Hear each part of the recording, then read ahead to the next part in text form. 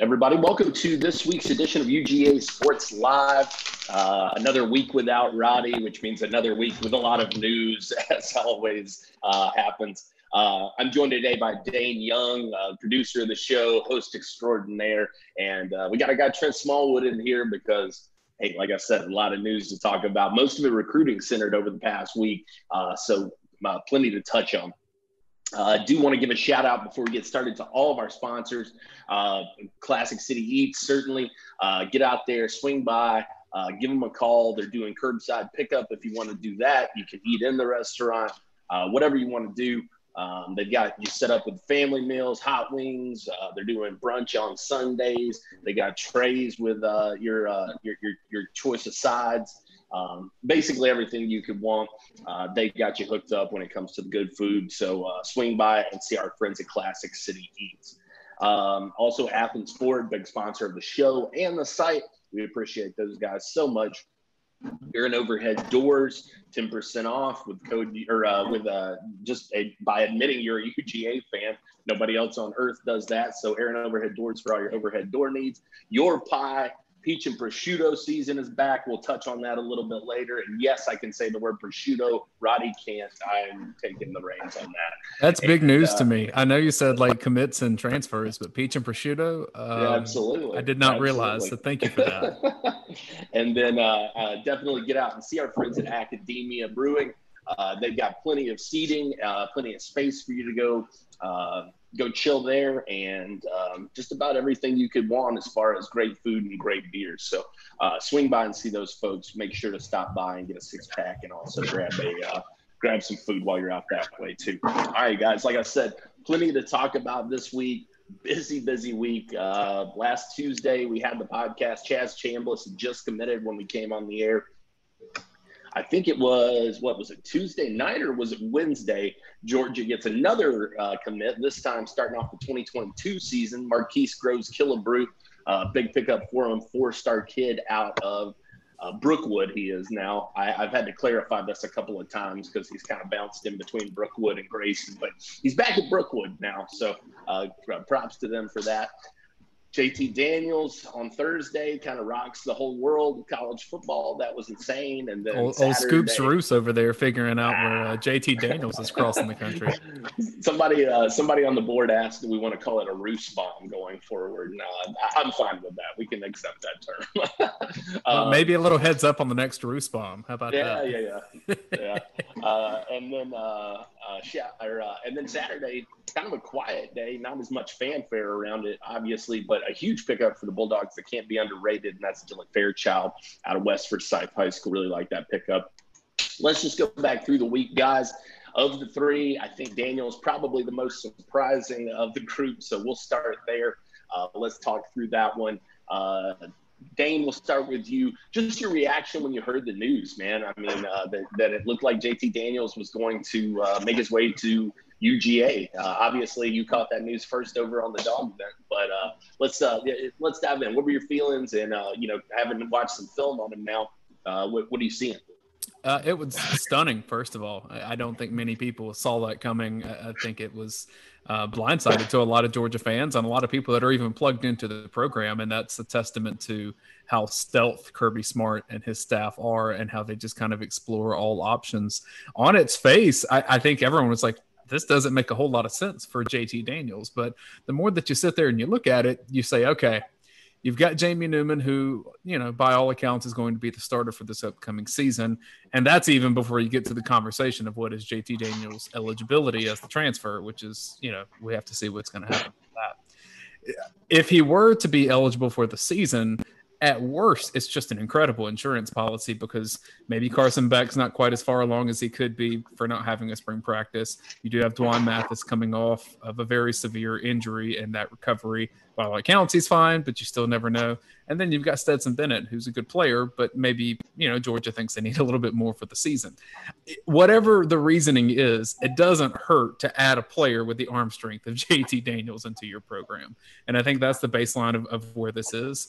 Uh, we do have uh, Brent Rollins and I have a piece coming out later this week uh, on Daniels and kind of what he did at USC he is coming off an ACL injury. He had surgery last October, uh, so there's some recovery still happening with that. Uh, you know, this kid's going to be a, a, bit more raw, a bit more of a project than I originally thought. If you go back and look at his tape, you see a lot of things that say this was an 18 year old kid starting in a Power Five conference, and that's difficult to, to manage. Arm strength is there. Uh, he's got to refine some accuracy, um, but he also is going to have a better offensive line in front of him than he did at USC. So, as a whole, I think it's a bit more of a project than what maybe some fans think, but the upside is is there tremendously. Trent, uh, your feelings on the pickup? I mean, first off, just how you felt when you heard the news, and then uh, you know your feelings on Daniel. I know we both got a chance to see him at the Rivals Five Star Challenge a couple years back.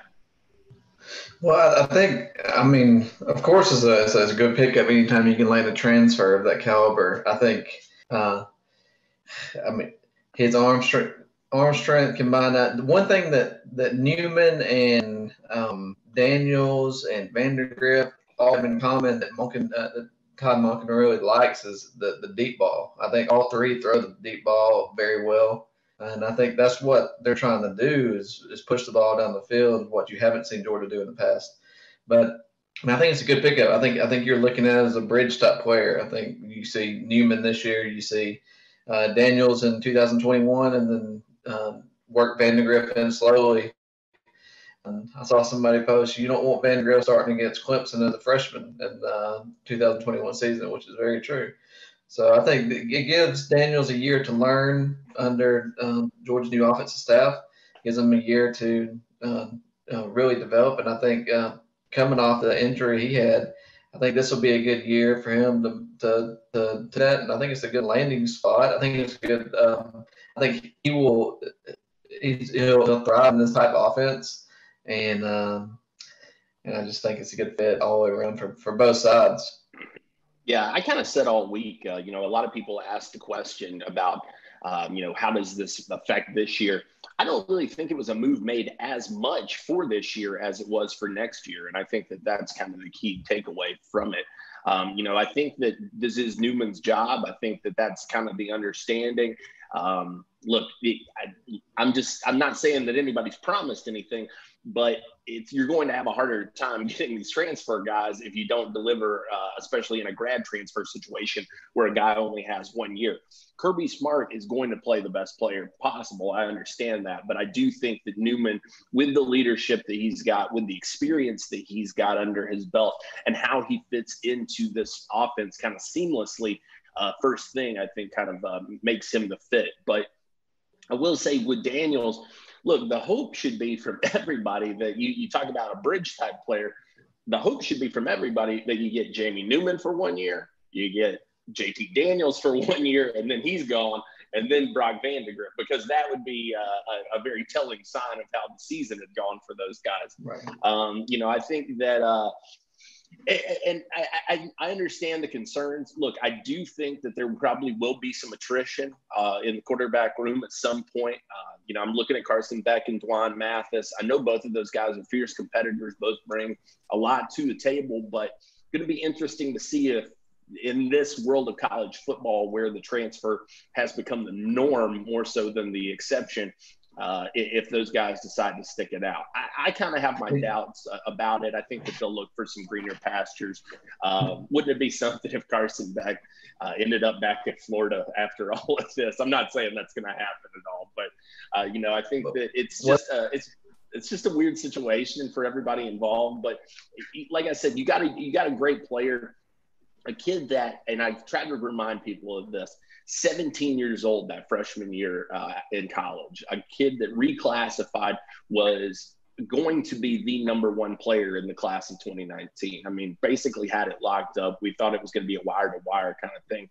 Just to show you how talented he, he is, reclassifies to 2018 and finishes fourth in the rankings behind two guys who look like generational quarterbacks in Trevor Lawrence, Justin Fields, and then obviously uh, a guy that w- wouldn't be uh, may not have been as high in the rankings had he not had JT Daniels throwing him the ball, and that was Amon-Ra St. Brown, who he played with at Mater Dei High School in uh, in California. So, um, you know, I think the kid's got a lot of upside. I agree that the year for him to kind of progress, get in this system, rehab the injury, you know, come back, kind of get his legs under him, but also sort of, you know, maybe I you, you kind of mentioned the project aspect of it, Dayne, and I think that there's an aspect of it that that kind of allows Georgia to go through some of those mechanics this year that allows them to clean up some of the things. You know, you can't teach a kid to throw the deep ball like Trent said, like like JT Daniels does. I mean, that's just a God-given gift. You can either do that or you can't. But there are some things that can be cleaned up, and I think that it's a good situation with Todd Monken uh, to to be able to uh, get in there and work with this kid and uh, have an opportunity to kind of really refine some of those things.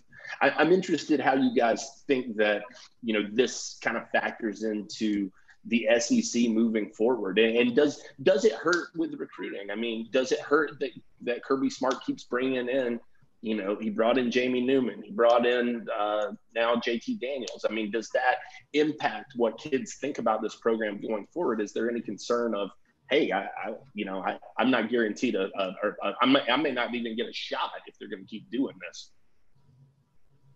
I mean, I don't. Here's the thing: we're talking about with uh, Carson Beck. I mean, the, the kid just arrived in Athens in December. I know it's the last six months have felt like an eternity with uh with the pandemic around the U.S. But I mean, the kid the kid's really never been through a Georgia practice besides the bowl practices. I mean, he, he we missed spring football, so we really don't know what Carson Beck's going to bring um, uh, to the table. Um, there's a possibility that you know we see Newman this year and Carson Beck comes in and beats them all out, and he's a quarterback in 2021. So. Uh, that that's one thing. I mean, I, I, think Carson Beck's talented. I think he's also the the raw tactics, mechanics, and stuff, and he could use a year of a red shirt. But um, that'll be an interesting battle next year um, when it comes in 2021 because you got Brock Vandagriff coming in, then you have uh, uh, Carson Beck with a year under his belt, and and also JT Daniels uh, after a year in the system. So it'll be interesting 2021 to see how all, all that works out with those three.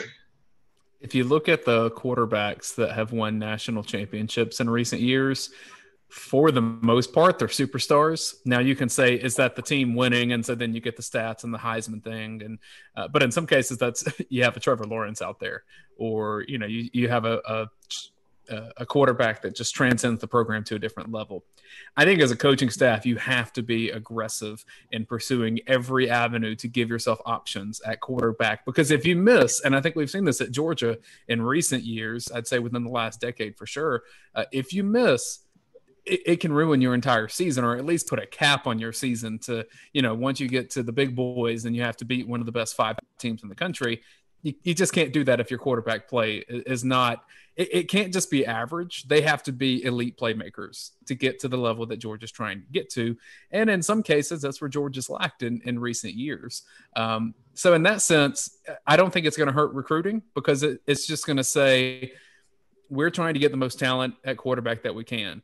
And if you're willing to come here and compete for the job, which Brock Vandagriff and, and his father made such a great statement in that, saying, "Yeah, this doesn't deter anything for for us. That this is just going to be the norm at Georgia." Um, so yeah, I, I, don't think it'll impact recruiting. I do think the timeline for this particular one with Daniels may be interesting, based on. And this is a question we have in the YouTube chat from Tim Casey: Is the transfer actually going to be approved? Right now, we don't know uh, and that that process has to play out. And, and, Jake, you can speak to that a little bit more. Uh, but the timeline of where his college tenure fits may be funky with with a couple guys in terms of who transfers out. I expect that'll probably happen with at least one guy, uh, and then who comes in after that, and what's their timeline from there. Yeah, and yeah. you know, I, I, I keep. But people have asked the question a lot: Will the waiver be? Uh, will it will it go through? I, I really don't know. I don't think anyone does at this point. I do think that you better believe that everybody is going to take every avenue possible to make that the case.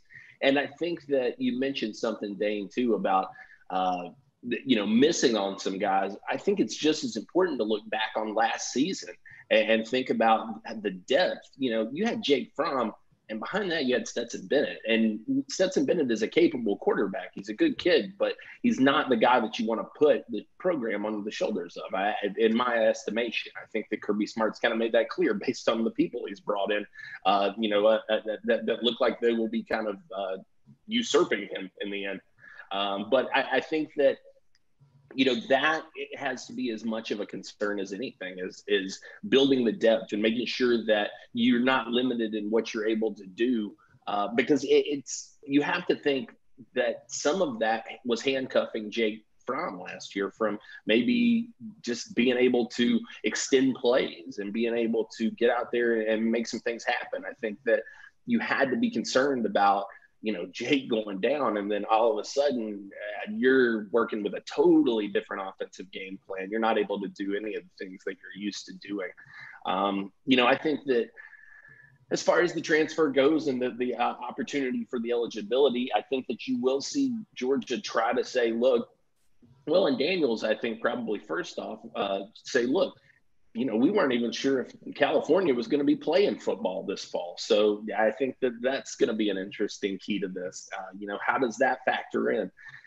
There's just so many unknowns around that piece of it. The good news is whether or not the transfer gets approved, the kids, I mean, if you got JT Daniels running your scout team this year, I think things are going to be going pretty well for you uh, moving forward. So uh, I, I, like the opportunity of having the defense going up against him in any scenario. Uh, it, it's, it's not going to hurt if he's not approved. I think that that would provide some opportunity for guys like Carson Beck and D'Wan Mathis to kind of get in and show what they're about and get some meaningful game reps as well. But um, you know, I, I don't. I, it's it's a win-win for Georgia in that sense. I don't think that it matters whether or not he is or isn't, to be honest with you, this year. And um, you know, moving forward, uh, there's been a lot of talk about Vandagriff. You obviously mentioned Dayne about his father's statement. I'll tell you this: uh, if there's one thing that recruiting has taught me over the years, it's that nothing's a for sure thing ever.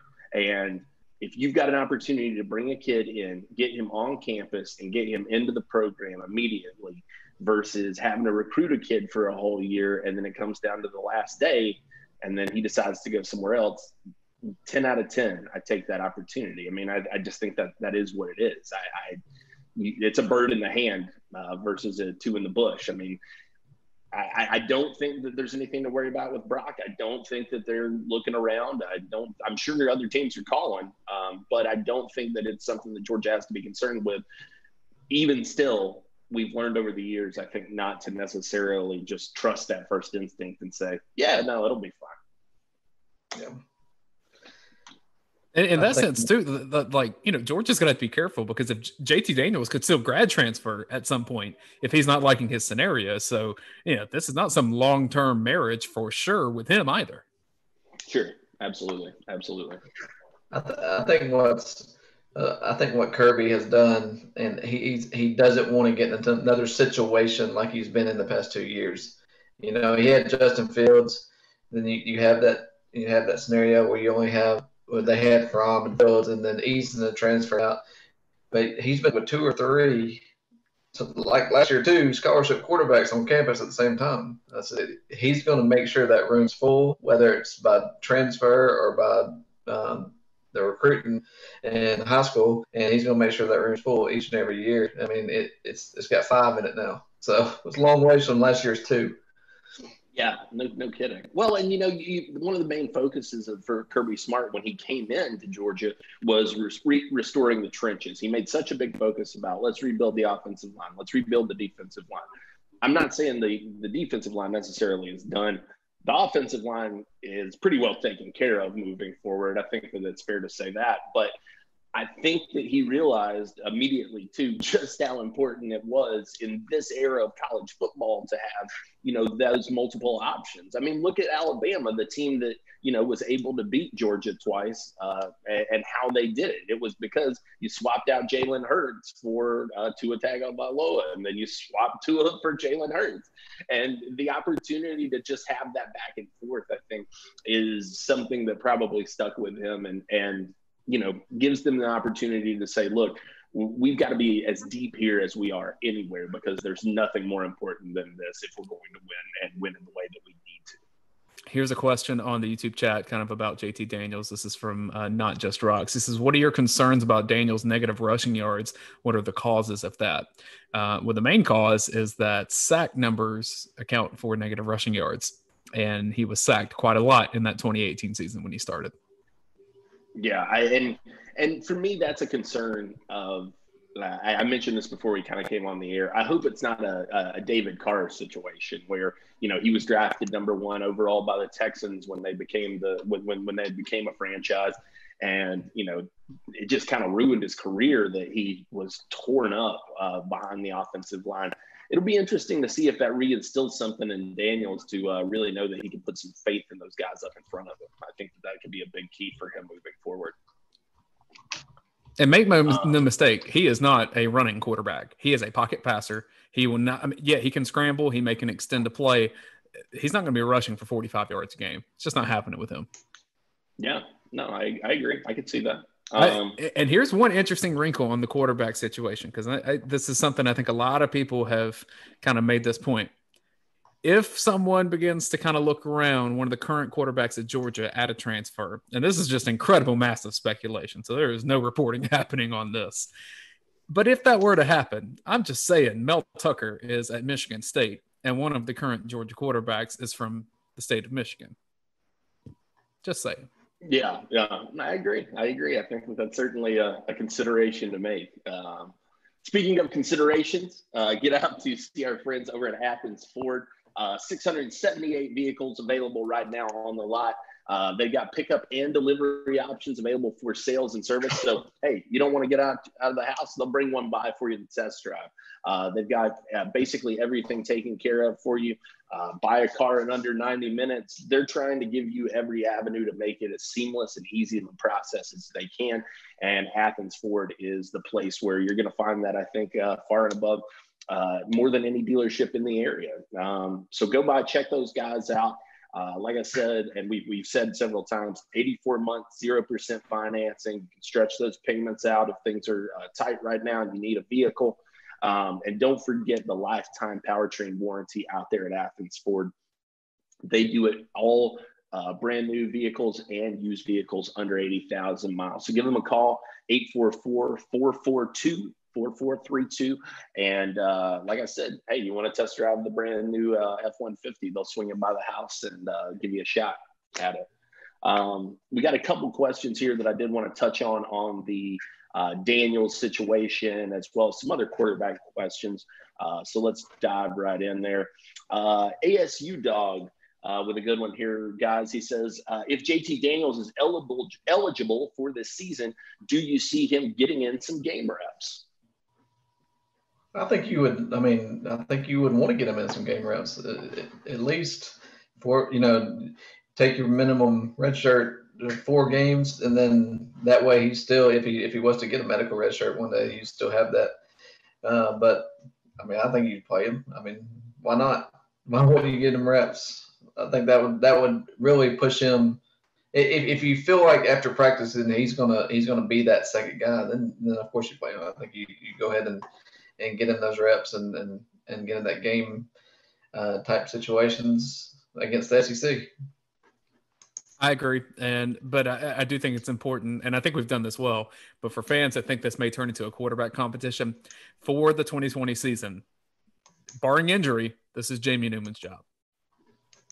I agree. I agree. Um, I, I, think that uh, I, I, really just don't see a way that it, it, it's not. Now, uh, we do got a question from a guy, and uh, this one of the most hilarious uh, uh names on the the, uh, the, the Dawgvent. Uh, Whiskey and Weed wants to know um, if Newman wins the job and beats Alabama, but then gets shaky. Do you think Kirby considers a QB change? Do you, do you think that we could see the possibility to see a shakeup? Personally, I'll, I'll start off on this one. I think that every single week in at Georgia is best man goes. And, and, I know that you want some continuity up front. I know you want some continuity at the quarterback position. and You want guys being able to feel comfortable and know where they're going.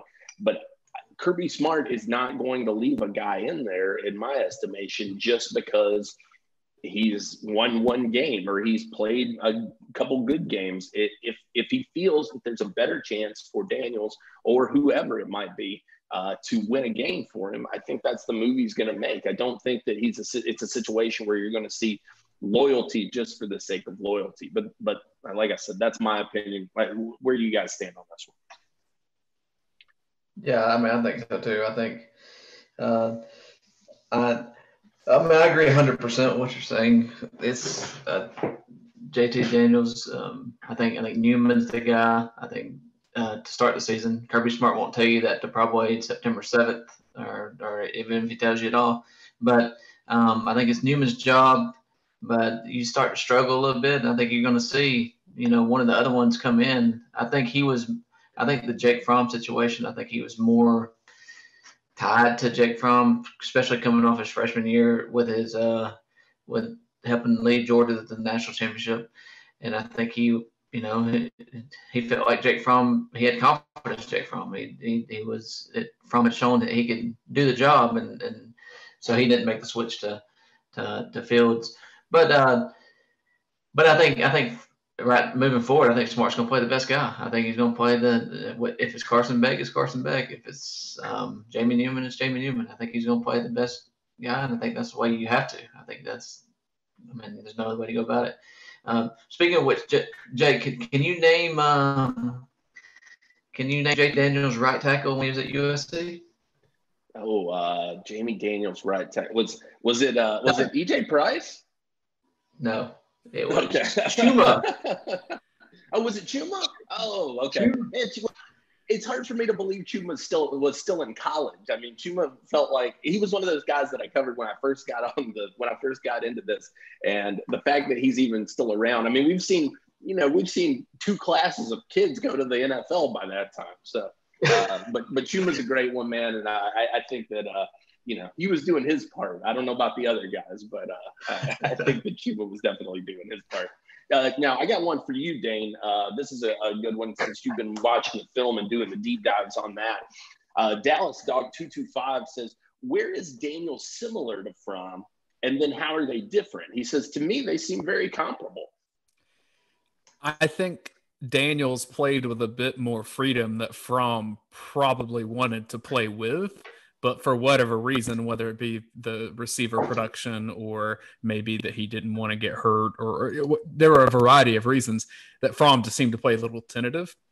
From what I, you know, this is the classic quarterback thing, right? JT Daniels looks like a gunslinger. And, and a piece of that is because he's got some funky arm angles at points because he's got the power to generate a really strong pass pretty much from his hip if he needs to, which is the definition of a gunslinger. Um, he can do some things that, that most quarterbacks just cannot do, which is kind of impressive. Um, I think Fromm wanted to do more of that. I think Fromm wanted to play faster. I think Fromm wanted to play more of a spread. I think he wanted to do more what he was comfortable in high school. That's just not what Georgia's offense was. For whatever reason, you can assign the blame. I think we've all done that over the course of the past year. Uh, but Fromm was, uh, as a whole, a more accurate passer. He was a safer player. He did not throw as many possible uh, interceptions or turnovers. I mean, JT Daniels' touchdown to turnover ratio. I mean, I think it was like 14 touchdowns to 11 interceptions. It, it's not very impressive. Um, and Fromm was always way safer than that. So um, I think Daniel's arm strength is there more, but Fromm was definitely more polished. Who would you say is the more, more mobile of the two? I, I personally, I, I, tend to lean toward Daniels as the guy who's probably going to get out there and extend plays a little bit more. But is that what you've seen on tape? I actually think Fromm probably had more running ability, but again, in the offense and then the depth behind him, you just didn't see that as much. If you go back to uh, Fromm when he took over the job in 17, I mean, didn't he have uh, I think two rushing touchdowns in the same quarter against Tennessee. I mean, he was a threat to run the ball a little bit. I just didn't see that as much from Daniels. He, he didn't. And again, look, Daniel started as an 18 year old in, in big time college football. And I know Fromm was young when he started too, but uh, it was a tough spot for a kid that should have been a high school senior. Yeah, I mean, he should have been enjoying prom, and instead he was out just getting his ass lit up in the Pac-12 by, you know, brutal pass rushers. So, uh, you know, it's, it's. I mean, I think anybody would struggle in that situation. To be honest with you, I, I, you know, obviously none of us are super talented athletes, or we wouldn't be sitting here doing this. We'd be somewhere throwing a football. But I think that would be difficult for anybody. If you put me in that situation at 17 years old. Uh, that's just a lot to process, and and to go from you know being able to switch it up so fast from going to high school to make that jump to college and then thrown into the fire immediately. Um, it's you know it's that's a lot. It's a lot to, it's a lot to undertake. Uh, and, and, and, his and, knee injury is something to monitor in terms of running especially in the sec uh, how much faith is he going to have in that knee? Most acl tears at this point it's a it's a clean uh, recovery a quick recovery and people tend to be stronger than before they they tore it. That's how college football goes now. But if he's one of the few cases that were not to happen you just got to see what he's comfortable doing and how quick he is comfortable doing it I saw that earpiece pop out. and I kept going. Through. Did you notice? Way to way to play through, man. Way to play through it. uh, that was impressive. Um, let's see here. Um, oh well, uh, speaking of quarterbacks, a good one here from BSW four four one four four. Uh, for both of you guys, he says, "Who is the best quarterback in the SEC going into this year?" Ooh, silence, radio silence. Everybody having to, uh, to, to, to, think through this one a little bit. Huh? A lot of them left. So yeah, yeah, yeah. I mean, it's pretty wide open in that regard.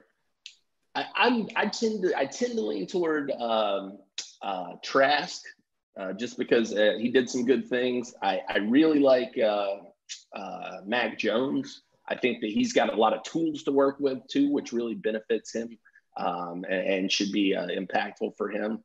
Um, who's at South Carolina right now? I don't even know. Uh, is it? It's not. It's Hilinski. It's, it's Ryan Hilinski. Yeah, that's right, Hilinski. And you know, I could see him having a having a good campaign. I think that he's a, a, kid that was real talented coming out of high school, but I'm not ready to put him up in the, the upper echelon just yet. Um, I don't know. We got to see what LSU's all about too. Sure, sure. I think Bo Nix is one to watch with the new offense coordinator and and, uh, there you go. That's the right answer. I, I, mean, I'm not. I, I'm not trying to like cater to the audience on a show about UGA football, but I really think it's going to be Jamie Newman. Understand, Homer. I, I think from what I've seen in the film breakdown that I have and the confidence that I have in Todd Monken to work with him, I think Jamie Newman will be a first round NFL quarterback next year. Listen, wow. says the guy wearing red and black on the show. We can see where we can see where this is all headed. Um, uh, do want to give a shout out uh, quick before we move on to our uh, our next topic because we got a lot to talk about. Peach and prosciutto pizza season is back. Mm. I think that's probably what I'm having for dinner tonight uh, because I just realized it was going on uh, over at Your Pie. Um, make sure to get out there and check it out if you've never had this one. Unbelievable, fresh peaches, prosciutto, basil, olive oil honey balsamic glaze, some uh, mozzarella, ricotta, and parmesan. It's uh, it's a party in your mouth, and everyone's invited. So uh, get out there and see them. Uh, definitely check out the Your Pie app as well. That make it easy for you to earn rewards, get an opportunity to uh, stack up some free pizza over time. And uh, I believe Dayne, you mentioned last week they got some what free cheese sticks or a free cheese pizza uh, just for yeah, just I think if you get there. the app right now, at least I saw this. I hope this is right uh, because I used to work at a PR agency that worked with some of your pie. I think I saw that if you get the app right now uh, for the first time, free cheese sticks on there, and who doesn't love free cheese sticks? Absolutely, absolutely. And uh, remember, you can build you can build your pie online. Uh, you can build it through the app. Uh, they'll have it piping hot and ready for you. Or if you want to go in uh, and uh, maybe grab something quick, uh, I know that they've got uh, the opportunity to do that. So get out there. Peach and prosciutto pizza back this season and it is a winner. It is it hits now.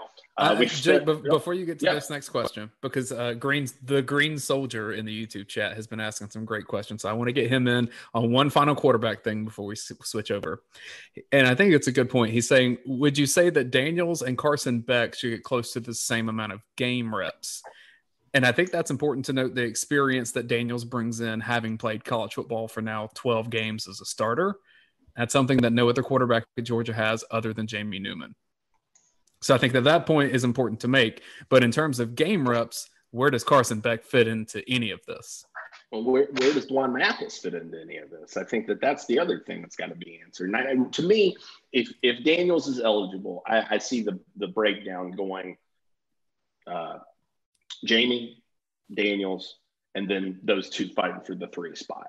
And I don't think that there's any harm though in giving that third guy as many reps as the second guy because you're talking about guys who don't have that game experience versus a guy who has a lot of it in, major college football. So uh, I, I, tend to think that you you should even it out, but uh, I, will throw that one to Trent as well. I'm interested in his take on it. Well, I don't. I, I think they're going to use Beck in four games. I don't think they're going to use Beck in more than four games. So, um, so it just depends on if that's one of the four games he gets called, his number called. So I, th- I think he's going to get four games, and I think the, the rest of the season you're going to see as a backup is uh, Daniels. And well, we're we're forgetting about the mailman who was you know second in line last year. So, uh, so he's going to be somewhere in the mix. I think, and I think Kirby will try to get him snaps at some point during the season uh, um, with the mailman. But I, I, it, it'd Just be like hard to figure out. It never it never fails to make me smile to hear the, the, the his name. Like you get you the mailman is the best. It's the best. I, mean, I, I, don't remember him coming out of high school and him saying, "I just delivered, baby. I'm the mailman." So and, and, he had the hat. Remember, he had the uh, he had yeah. the PS hat too, which I just thought was the coolest touch, man. That was that was that was a kid who was marketing before it was cool to be marketing. So shout out yeah. to Stetson for that, dude. I, I will uh, say that those four games that are selected that players can play in and still get the red shirt, man, that's that's so crucial for coaches because in this era where if you're not in the national championship hunt in your bowl game, then you're going to have a lot of people either sitting out or not playing for a variety of reasons. Um, you kind of want to make sure that for a lot of these players, you save that bowl game for them in case a spot at their position opens up that wouldn't have otherwise been open. I think they've done that the last couple years too. I mean, I know there's a few injuries with uh, like Divaad Wilson and Azeez, but I mean, last year they they held um, Rochester out the last you know three weeks of the season, so he'd be ready for the SEC championship and all that stuff. So I think you you've seen that uh, Kirby play his card right in that with, with the red shirt stuff. I think he's played. I think he's done uh, a good job in that department. Um, all right. We've had, talked a lot about quarterbacks, and I expect, honestly, that we could probably spend the rest of the show talking about JT Daniels and how that may shape things moving forward. But like I said, two more commits uh, this week, um, this past week, actually. Uh, and I, I want to start with the guy for 2021, um, just because he's the immediate class, and that's Dylan Fairchild. Trent, uh, I know you had a chance to go in and break down the film on him. Dayne, you helped uh, put some gifts together for that as well. Uh, Trent, just kind of talk us through this guy. What do you see out of this kid? What do you like about the film? And uh, and and just what kind of player is Georgia getting in Fairchild? I mean, the first thing that stands out to me is he's he's not a type offensive lineman that that Sam Pittman might have recruited. He is the Sam Pittman might have recruited, but he's the more uh, he's just athletic. I mean, he is. I think he's a guy that you could play at tackle if you a crunch. Uh, he is a probably gonna play on the inside. He's athletic. He's strong as ox. He went like 48 and 48 and 0 last year in wrestling. Um, so uh, he won a state championship. He is uh, he's, he he lines up at D tackle on defense, and and he's very there. He plays with has a good leverage. I think he could use some strength uh, in the upper body a little bit, but I think he. I mean, George's a, gamer. He's getting an athletic guy that can get on screens, pull and uh, I mean he's just a good. He's he's not not a huge not a huge player like like him like Isaiah Wilson. He's not he's like win. Just get out and be and, and be able to block in space. And just just another good pick from Matt Luke. Yeah, uh, Dayne, uh, what did what did you see when you were breaking down those gifts, buddy? Yeah, I mean, I think it's a similar thing for anyone thinking that this is someone the size of Isaiah Wilson coming into Georgia's program. One, that just doesn't happen often at all for anybody. Uh, there may be a few of those out there, but I mean, he's just massive. Uh, you know, I, I, I think it's valuable to be able to add to an ever rotating cast of offensive linemen because Georgia is becoming an offensive line U in a lot of ways, where uh, really talented players will be at Georgia for three years and gone. Yeah, the Cade Mays transfer, so that opened up a little bit of a, a hole that needed to be filled in terms of depth uh, going forward. And, uh, you know, I just think that whenever you can keep a talented offensive lineman in the state, especially, that's that's really crucial for Matt Luke to be building those relationships with coaches and being able to make his mark among these high schools uh, in the state of Georgia because it's an area that yeah he recruited some when he was at Ole Miss, but it's just a different thing when it's you're the the home state school, right? So. Um, you know, this is going to go a long way in, in, pursuing a couple of the other offensive linemen in this class as well. Uh, it's a great pickup. I think he's got a chance to play a lot of football at Georgia. Um, but that's also not guaranteed because of the amount of talent around him either. He's going to have to work for it. Yeah, I, I think that I definitely agree with one of the things that you said. I was going to actually say the same thing. I think that the kid's got a chance to play a lot at the next level. I think that he's a guy that you're going to see become kind of a stalwart on this line, or at least have the opportunity to because of the things that he does well. And, uh, you know, I, I did the what it means, what's next. when you watch that film, man, this kid is aggressive. That's the big thing that jumps off the screen to me. He is a he is a play through the whistle. I want to throw you on the ground and then I want to sit on top of you and I want to embarrass you kind of lineman. And I love that about a guy, especially with a wrestling background. Um, you know, that keeps him light on his feet. He's able to adjust really easily. And, uh, you know, I think he's strong. And I, I've mentioned this in the, the thing. it will not surprise me. And I don't say this very often about young offensive lineman because it's a hard spot to uh, kind of come in and contribute right away.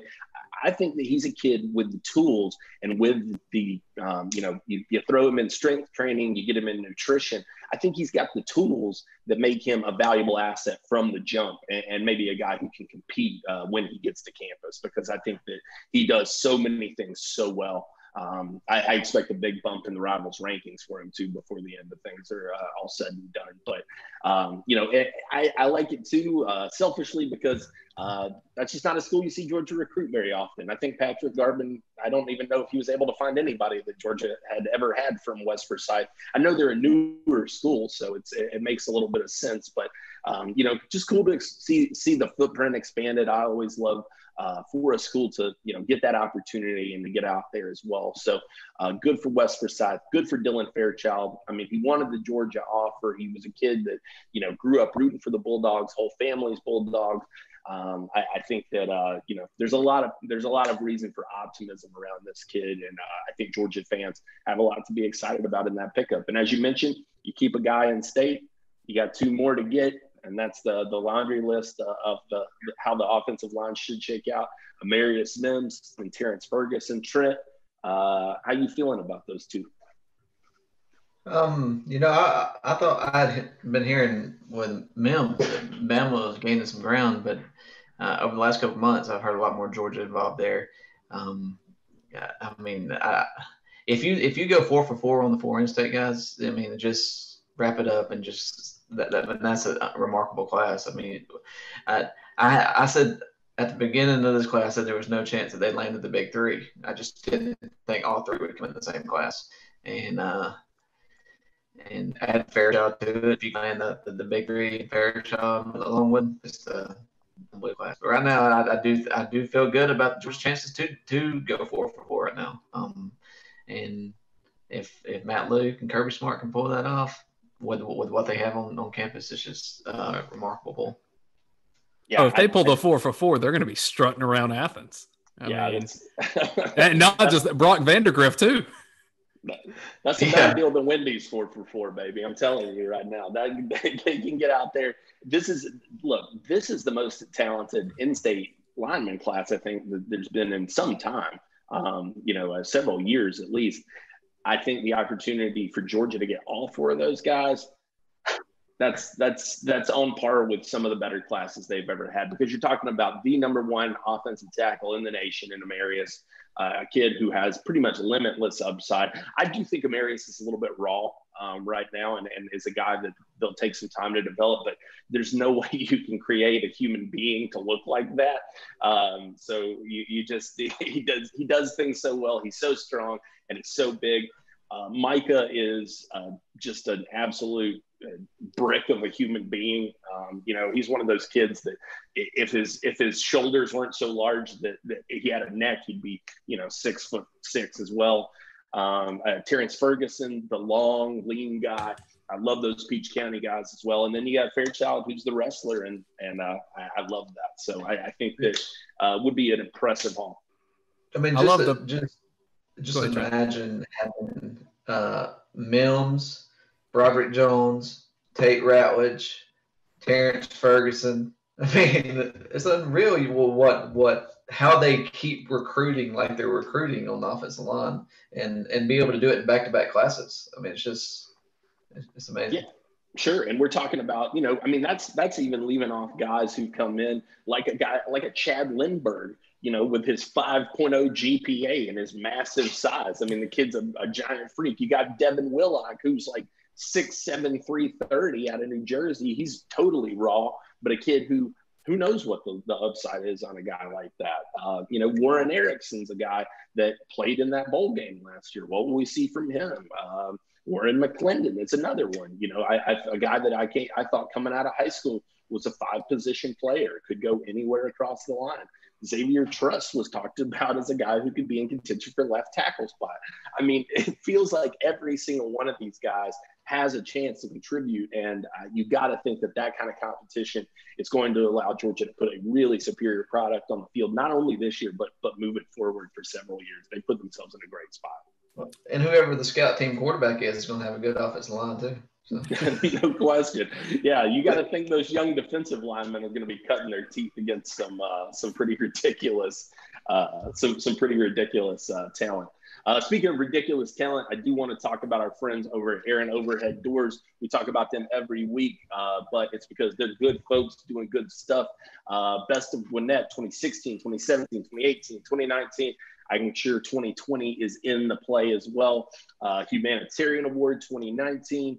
Um, you know, they're part of the International Door Association. And as we always say, a customer service company in the garage door business, a, a, group of guys that really focuses more on the experience and the opportunity to serve people more so than sell you something that you uh, may not need. So uh, give them a call, get out there to see them. Uh, they have a wide service area, covers a lot of um, uh, a lot of North Georgia, but hey, they can help you out, I think, uh, pretty much anywhere if you give them a chance. 678 960 3360. And don't forget 10% off of any work Aaron Overhead Doors does uh, when you just tell them you're a UGA fan. And right now seems like a, uh, good time to be hopping on that train. Um, uh, all right, we talked through Fairchild. We talked through uh, Dylan. Or, uh, uh, we talked through through Daniels. We talked through Fairchild. Now let's dive in. 2022 gets things rolling. Uh, huge pickup, I thought, to start that class off. It's weird. It was weird to me that that class hadn't already started because the 2023 commit had been in for so long uh, in Trayon Webb. So Georgia had 2021 rolling and already somebody for 2023. 2022 was sitting there kind of barren until last week.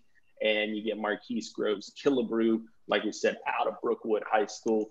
Um, Trent, uh, I don't know if you've had a chance to see him play in person or not, but uh, have you watched the film on this guy and uh, what have you seen? I do. Uh, you know about the offensive line uh, a few minutes ago. The the defensive back recruitment's been just as impressive. Uh, bringing in guys in, like like and you know, known quarterback in this class, and then you you you you add in these, I mean, you just keep reloading that position.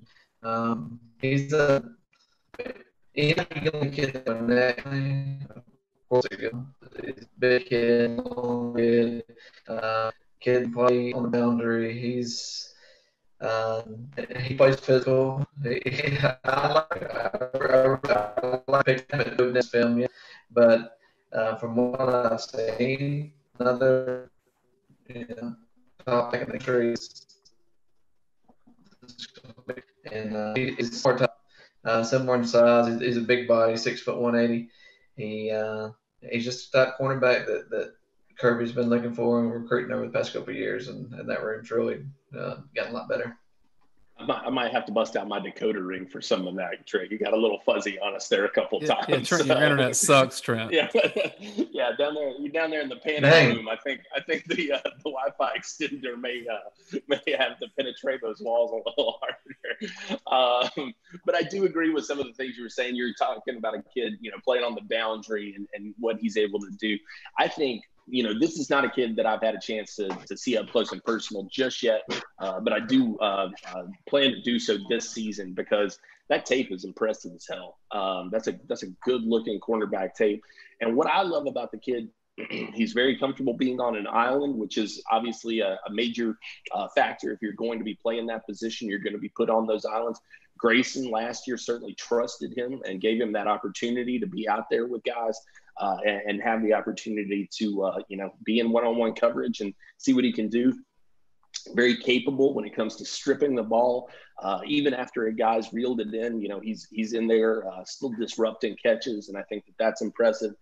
And the biggest thing, though, and I think that this is probably something that prob- that has to excite Kirby Smart as, as much as anything about that kid's game, is when you just see him come up and run support and just stick a man at the offensive, right at the line of scrimmage.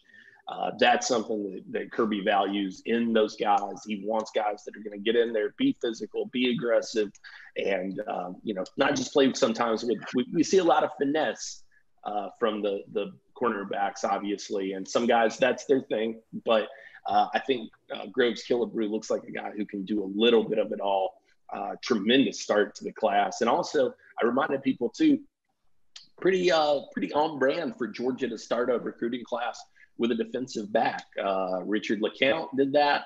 Uh, you, you, started uh, this cycle with David Daniel uh, out of Woodstock. So, um, you know, those guys, hey, they talk a lot of smack. They're used to, uh, you know, getting getting out there and mixing it up with guys. And I think that uh, I, I, think Groves Killebrew is, is a good guy to have leading the way, and certainly to have on your commit list. That's that's that's going to be a tremendous one. I, I expect Georgia's going to have to fight uh, in the long term to keep that kid uh, uh committed because everybody's going to want a piece of him and his game.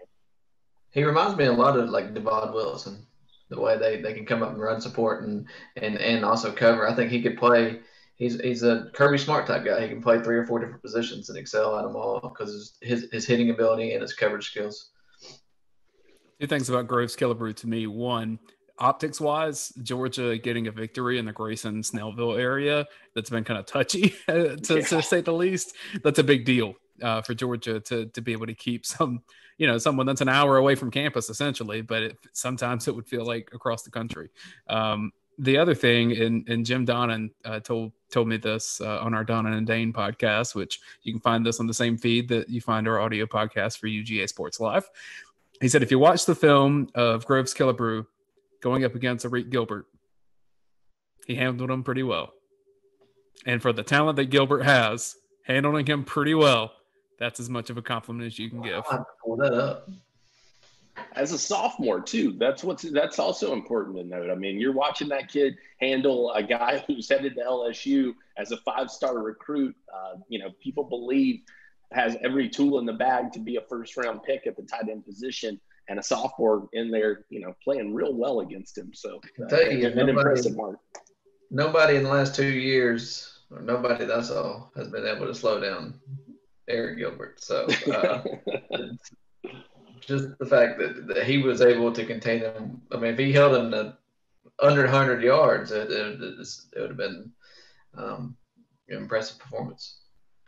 I, I wouldn't want to have to stop that guy. I know that. Uh, uh, speaking of making stops, though, get out to Akademia, make a stop by there. Uh, tons of beer on tap. Uh, you can get it in crowlers. You can get it uh, in six packs. Uh, you can get it in the bar at the at, at, the brewery. Um, you know, it's not going to get any more fresh than that. several beers on tap right now. They got the Dom Kolsch Akademia Premium Lager, Extra Credit ESB, the Shiver Pilsner.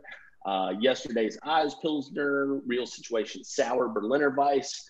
Uh, little something for everybody. You want the hoppy stuff? They got the IQ IPA 55 IBUs on that. Uh, I have spoken IPA. You want something a little cloudier, a little juicier? Uh, go get the Staircase to Nowhere.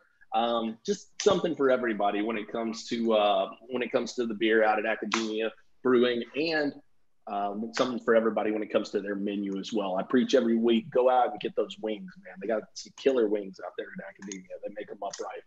Jake, what's your go-to Akademia beer? Because you're you're one of my trusted beer guys.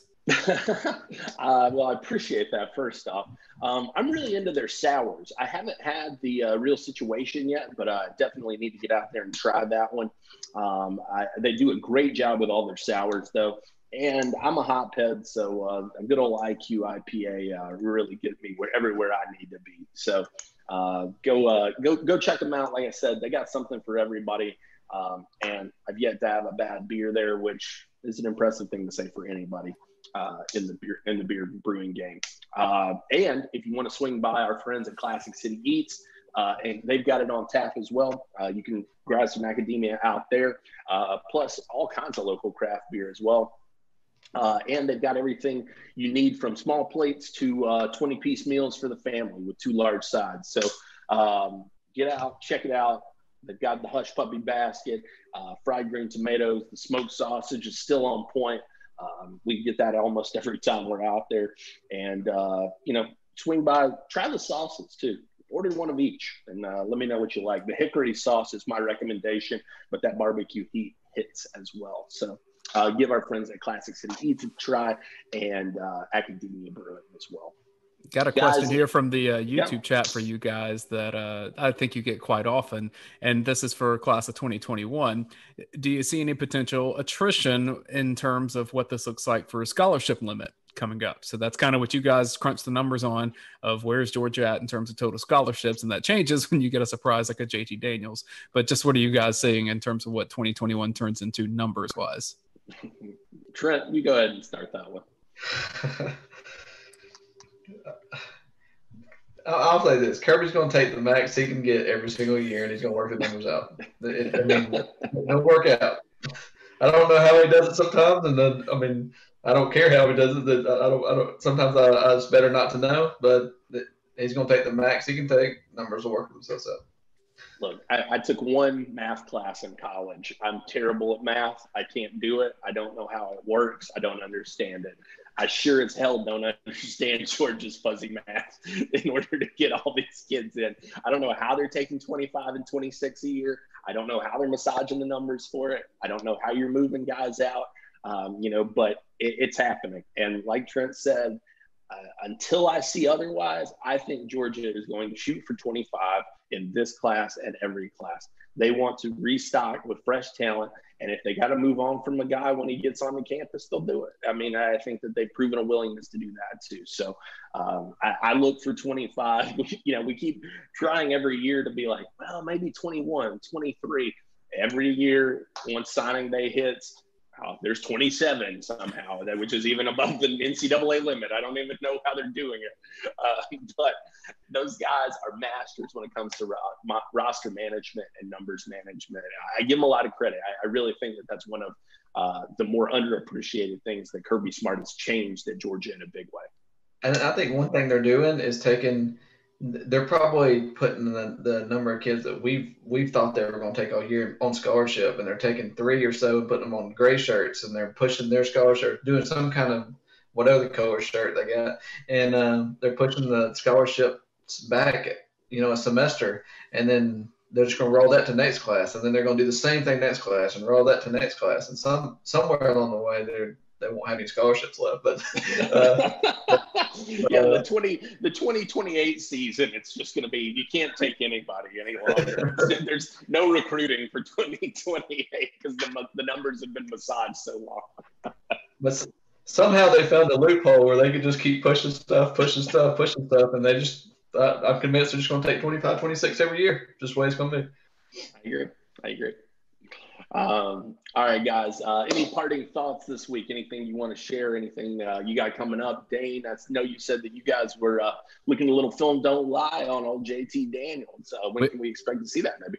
Uh, let's see. I think Brent Rollins is uh, kind of doing some of his data crunching since uh, none of us are good at math, so we had to find someone else that is, and Brent's really good at that with his uh, PFF grades. So uh, expecting that probably uh, later this week, and then we do have our big reveal coming of who is the number one top returning Bulldog based on PFF grades from uh, the 2019 season. So we've had our countdown. There are 21 players that had a grade of 70 or higher, with I forget the exact number, but they'd have a, a minimum number of snaps. And uh, we are up to the number one spot. Number two was George Pickens. So we got to go back through and uh, watch a lot of great George Pickens catches, which, man, they're almost more impressive the second time around. And I don't know if you guys saw it, but we found a run block that he had against Auburn my God, Uh, we don't talk about George Pickens and run blocking that much, but we need to because yeah. he's got it. And it was Auburn, so. Yeah, yeah, yeah, yeah. you think that was a little, uh, a little uh, uh, reminder of, hey, just so you guys remember. he's pretty good. At, he's pretty good at the um, ultimate fighting too. I mean, he, he slammed the we we didn't include that in this particular piece, but I think everyone remembers the the tech punch out, and uh, you know, some people gave him grief for that. Like, yeah, you know, did it hurt Georgia against LSU? Maybe a little bit, but I don't think if he was there the whole time, it would have made that much of a difference. So at least you get that fun memory. Uh, Trent, Trent, can we uh, maybe expect some uh, film breakdown on uh, Groves Killebrew later this week?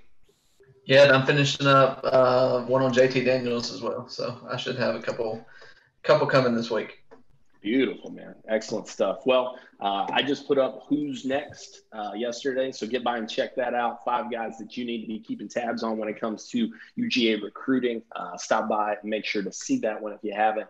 Uh, I think that Georgia could get some good news here in the next week or so. Um, I, I, don't think that you're that far off of another commit. Roddy's still out of town, so that means the good luck's still rolling. Uh, when he gets back, April yeah, Roddy stays out of town. I don't know that Roddy really lives in Athens any longer, to be honest with you. Do you know how people are going to revolt if Roddy comes back in and there's a decommitment? Like it's, it's going to be his fault. or an arrest, perhaps. No, normally that's normally that's for Dash's vacation. So uh, normally the bad team stuff happens when Dash is gone, and the positive recruiting stuff happens when Roddy's gone. So um, and then when I'm gone, it seems like the whole world's quiet and no one's doing anything. So that's just the nature of the beast, I guess. Um, guys, thank you so much for joining me today uh, and being here on UGA Sports Live. Uh, shout out to Dayne and Trent. Uh, great stuff from you guys as always. I guess we'll have Fearless Leader back next week. So that'll be fun to get Roddy back and uh, see what he's missed. Um, but shout out to all of our sponsors as well Akademia Brewing, Classic City Eats on Baxter, Athens Ford, uh, Your Pie, Aaron Overhead Doors. Um, just everybody that uh, takes care of us, go out and take care of them as well. We appreciate their support. We appreciate your support. Thank you guys so much for tuning in, and we will catch you again this time next week.